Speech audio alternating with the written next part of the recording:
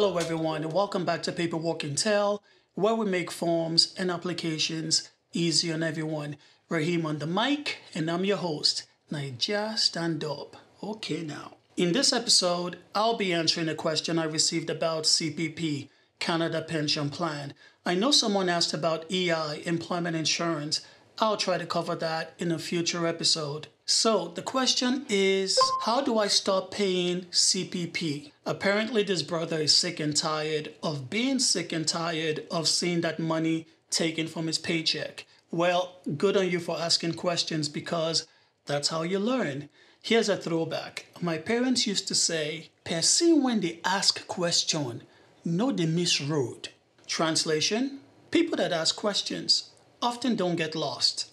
Let's begin with an overview on CPP. Then we'll take a look at how it's calculated from the money you earn and how you can stop your contributions. Let's go.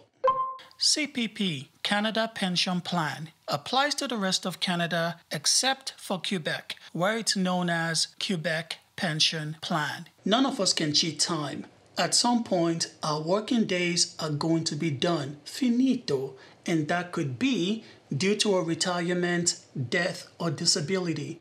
But you know what's never going to be done? Bills, bills, you guessed it, more bills. Life doesn't stop, man. So, someone had an idea, don't ask me who.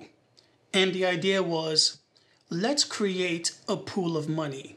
Everyone working, with a few exceptions, will have to put money into this pool for a very, very long time. Then, when they stop working or can no longer work for reasons we approve, we'll give them or their family back some money every month. Not a lot, just a little something something to help out with living expenses. Here's the thing with ideas you get them, I get them, meh, we all get them.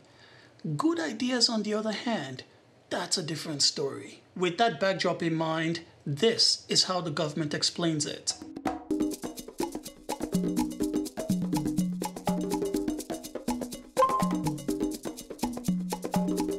For the purpose of this video, we'll keep it simple. We're going to assume an employee-employer relationship and that our income is pensionable. Okay, you join the club when you turn 18. And like those magazines or gym contracts we all dread, your membership goes on auto renew till you turn 70.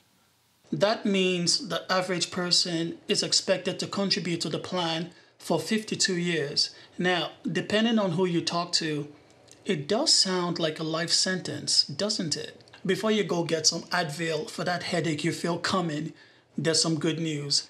You can choose to opt out before 70. More on that later. One look at your pay stub and you'll notice QPP or CPP is the first deduction taken from your earnings. Calculating your contribution is not complicated. Here's how you do it. You'll need to know three things your gross pensionable taxable income, the basic exemption amount, and the contribution rate.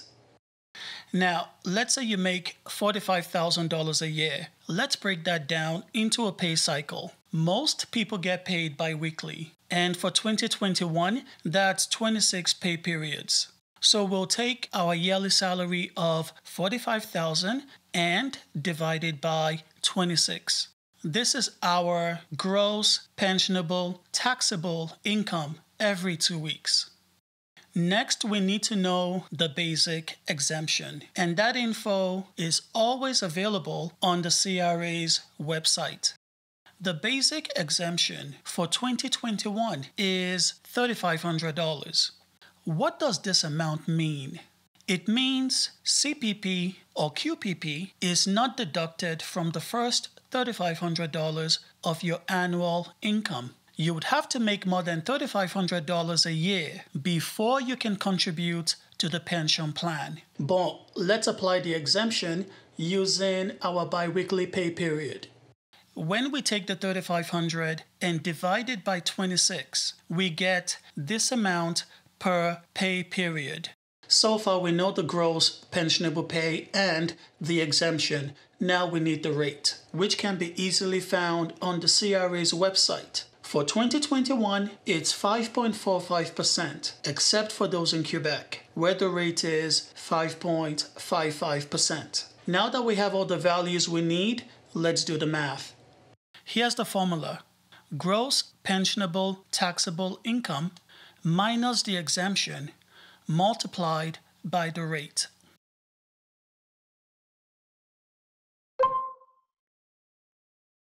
Your employer deducts CPP or QPP and sends it to Canada Revenue or Revenue Quebec. And from what I gather, the government doesn't just sit on that pile of cash till benefits are paid out. There's an elite group of guys and girls that go by the name Canada Pension Plan Investment Board. They invest some of the money in different markets to grow the funds, therefore, helping to keep the pension sustainable. They remind me of that function on your TV remote you never knew existed. One day you press it by accident and you're like, no way, shut the front door. That's what it does? Wicked. Here's a nugget of intel for you guys. Do you know employers have to match your contributions? Yes, they do. Dollar for dollar.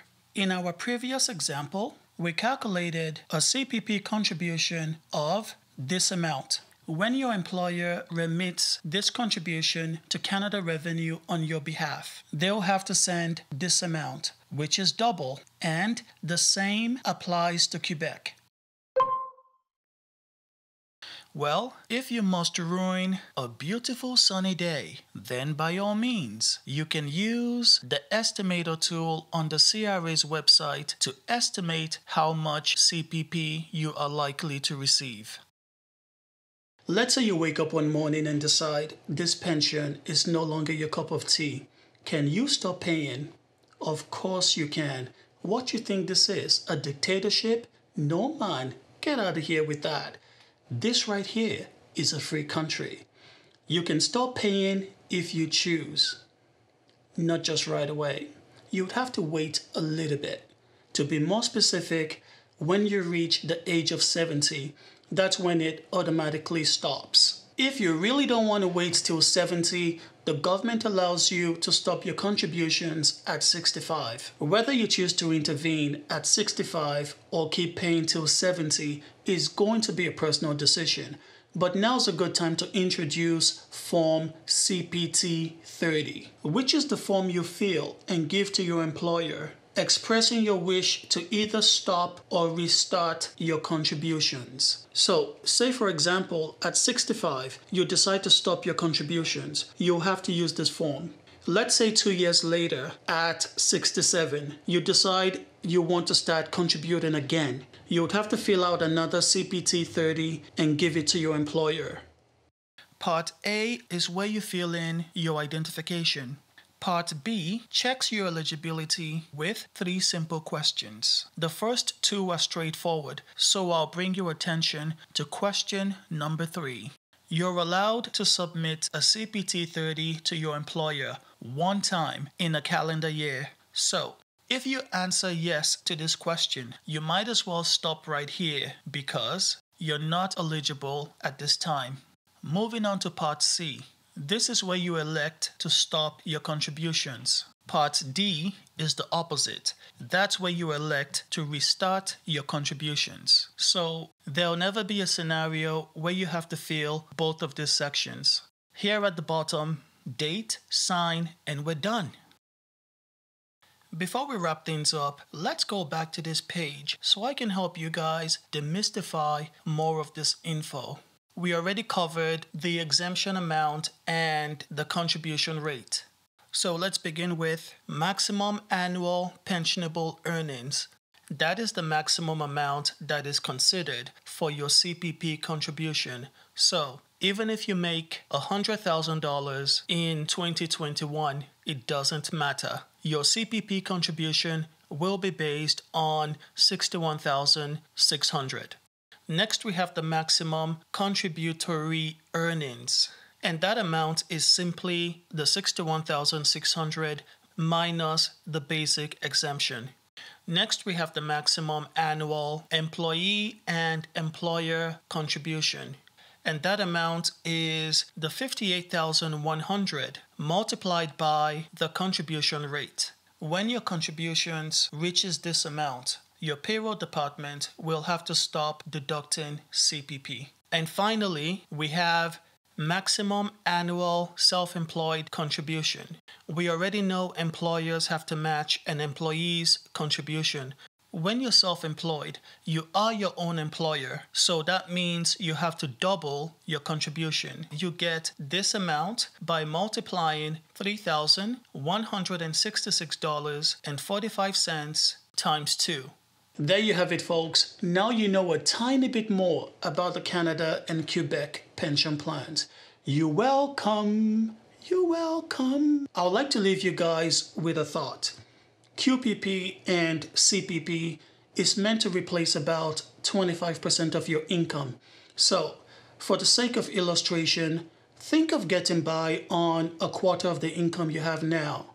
Not a pretty picture for many folks. Good reason why we should plan to have other revenue streams for when we get to that stage in life. I'm still trying to figure things out myself. When my time comes, I may just pack my bags and move back to Wakanda, where I can have three wives with my CPP income.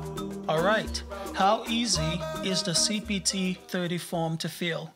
I'll give it a solid 9. It's simple and to the point. Nothing that should rattle your cage. Thank you all for watching. If there's something you'd like to see me cover on the channel, let me know in the comments or send me an email. If you enjoyed this content and you'd like to give me a high five or a fist pump, you could subscribe to the channel and use the Ko-fi link in the description to send a coffee my way. I take it black, no sugar, no cream Thank you, your support is always appreciated.